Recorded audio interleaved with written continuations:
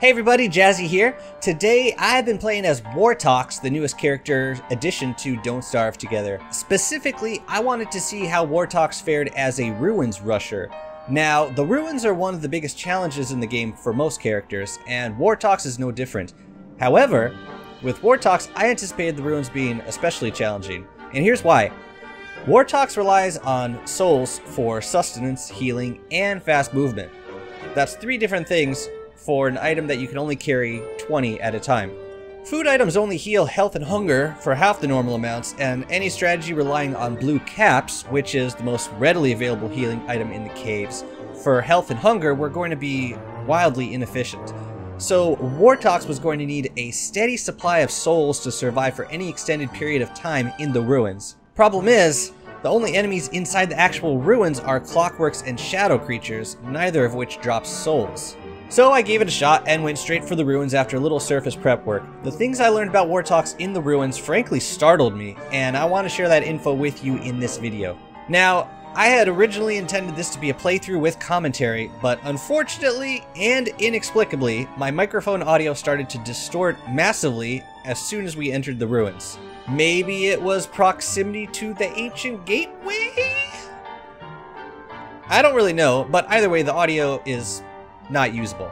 So I'm going to take the opportunity to experiment with a new format for presenting gameplay, and I'll call it a narrated synopsis. Basically, I describe the gameplay and narrate through my thoughts and strategy through each step of the run, all the while describing what I discovered and trying my best not to cringe at some of the sketchy moments. So, let's get started. Day 1 was incredibly lucky. I spawned into a world that basically put wood, gold, and spiders practically at my feet. I had a science machine prototyped in a third of a day. I was also very lucky with mole worms in our starter biome and was able to snag two right away for future moggles. Now, moggles are a great item for Ruinstein with any character, but with Wortox they were pretty much essential, and you will see why very soon. Day 2 we prototyped an alchemy engine. Again, very nice having the gold available right at the start. Uh, we also spent a little time fighting spiders. The main goal of this was to get silk for crafting nets. I wanted to craft two nets, and the reason was so that we could bring a stack of bees to the ruins with us. Carrying around live animals such as bees and butterflies with Wortox effectively allows him to carry more than the maximum amount of souls in his inventory, and I did not feel super confident with just carrying 20 souls into the ruins, especially since I was going to rely on them for hunger, health, and movement. Now, just from my travels above ground, I quickly figured out that between all the bees, spiders, butterflies, tall birds, and pigs, I was constantly surrounded by souls, and because of the availability of them, I realized I didn't have to be super conservative with using them. Even using souls to hop short distances added up to a massive amount of time saved, and time in the early game is rather precious. Around the end of day 2, I found the Pig King and knocked down a couple pig houses for resources. During the day, pigs will be constantly hostile to Wortox, so doing this at night was much easier because I could fight the pigs one at a time. I wanted to get four large meat for two ham bats, one to prototype, and one for right before we entered the ruins. Day 3 I found my first beehive. For the sake of expediency I used a torch to burn the bees out of their hive. I would have preferred to keep the hives intact and probably would have done so in a longer playthrough, but for the sake of this run it just seemed the easiest thing to do. Although, thinking about it now, I could have just hit the hives to aggro the bees and brought down a stack of killer bees instead. Oh well. Day 4 I found Chester! Yay! Useless for this run. I also smoked out a few more beehives and collected a full stack of 20 bees. I was also holding on to seeds in order to feed the bees in my inventory when their hunger got low. Day 5 I entered the caves, threw down our second alchemy engine, crafted a lantern, football helmet, and ham bat. I also got a stage rose. Easy 150 spools. Anyway, we set off in the caves and rather quickly found the blue mushroom biome. This is a good find because it's always connected to the mud biome, which leads to the ruins. Batilisks turned out to be an excellent source of souls along the way. Still in day 5, I find the mud biome and start picking glowberries. And while I can see other sections of the biome on my map, I can't soul hop over because I can't actually see them. That's why we need moggles so badly. It's basically the only way to soul hop any substantial distance at night, unless there is a light source where you are hopping. Also, in case you didn't know, depths worms will always be wet. So when picking mysterious flowers, you don't get a depth worm unless the flower is wet. Obviously everything will be wet during rain so this doesn't work then. I also stumbled across a big tentacle in the biome. If there is usually one in this biome, then it is probably one of the more convenient stops along the way to the ruins for topping off souls, and that is because every baby tentacle will also drop a soul. Basically a one-stop soul shop for Wortox. And once you discover the atrium, which is typically close to the ruins, you can soul hop over, smack baby tentacles at the atrium entrance for souls basically anytime. Alright, around the top of day 6, I start to see some lichen, which is an indication that we're getting close. Finally, I see a wet mysterious plant. I kill the depths worm, get my first glowberry, throw down my final alchemy engine, and craft my moggles. That left me with one gold, but I decided I wanted a luxury pickaxe, so I doubled back for a moment to mine a stalagmite for one more gold piece. I also decided to smack some tentacles to top off my hunger. This made me insane, which I would basically be for the remainder of the run. Time to start killing shadow creatures.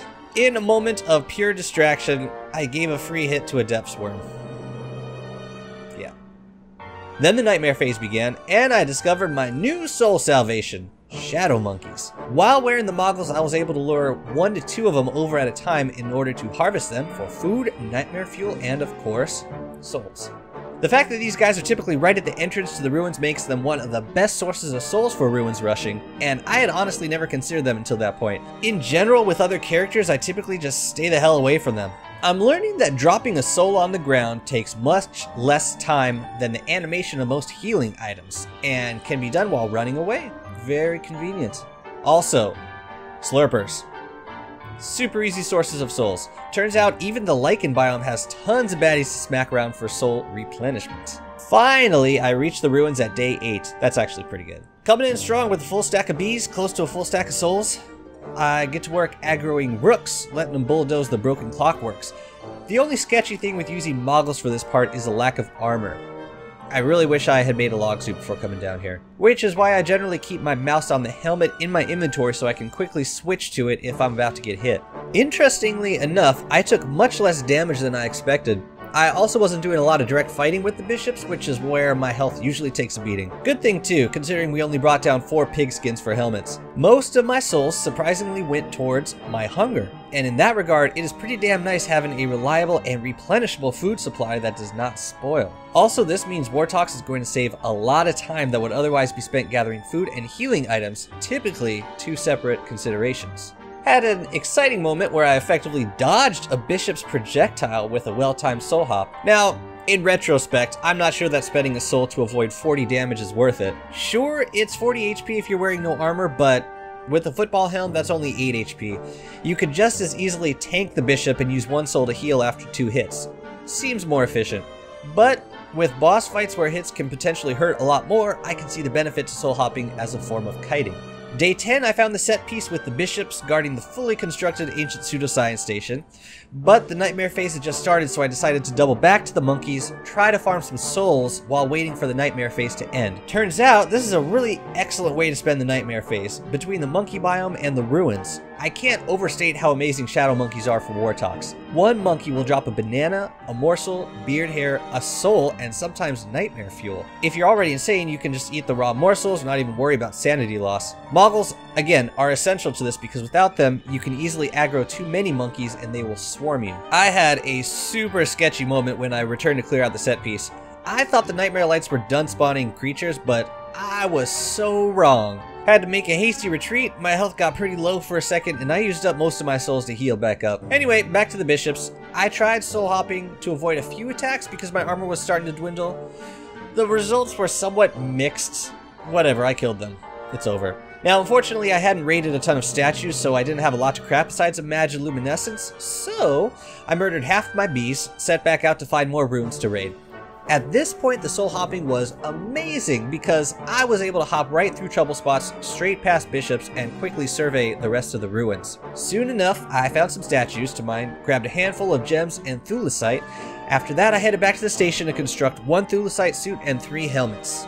I would have loved to craft a club and a Starcaller staff, but unfortunately we didn't bring any living logs. After that, our work here was done. Head back out, return topside on day 14, giving the Pig King around a full stack of frazzled wires. There was still lots of stuff to clear out, but I had enough armor to see me through some of the early boss fights, and that Magiluminescence, stack of Nightmare Fuel, gears, and purple gems were really going to come in handy as well. if I found some living logs, it was easy enough to run back down and craft more stuff. The first boss fight for which I really like having that Starcaller staff is the Ancient Guardian, and I can craft the staves on my way to that fight. All in all, Wortox exceeded my expectations in the ruins. The soul hopping accelerated the exploration significantly, and the mobs I had not thought to farm for souls turned out to be the most helpful, as in shadow monkeys, baby tentacles, slurpers. Had I not been stupid with the bishops, I might have been able to get away with not bringing the stack of beasts down, but I'm glad I brought them, as I certainly used all of them. The one item I would never think to ruins dive without is the moggles.